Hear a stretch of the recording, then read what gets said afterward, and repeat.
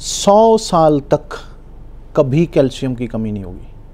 हड्डियाँ पूरी मज़बूत रहेंगी, जोड़ों में पूरा दम रहेगा। कोई जोड़ दर्द नहीं, कोई कमर दर्द नहीं, कोई थकावट नहीं, कोई वीकनेस नहीं, और हड्डियाँ हमेशा मज़बूत रहेंगी। अगर आप मेरे इस वाले फार्मूले को ध्यान रखेंगे तो। रोज़ शाम को पाँच बादाम पानी में भिगो कर रख लें। सुबह उठो, बादाम छीलो अच्छे से चबा चबा कर बादामों को। इतना चबाओ कि बादाम का भी दूध बन जाए। और उसके बाद एक गिलास दूध रोज़ सुबह पीना है आपने। और रोज़ शाम को एक चम्मच तिल लें, उसको मुँह में डालो और अच्छे से चबाना शुरू कर दो।